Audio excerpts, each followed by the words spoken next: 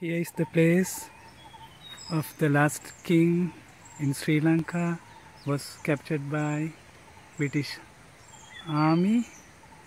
The British government built this stone for memorial.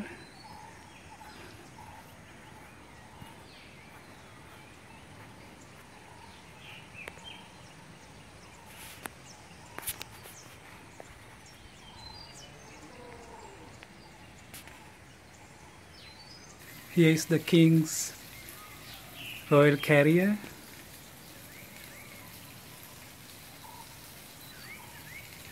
Wooden royal carrier.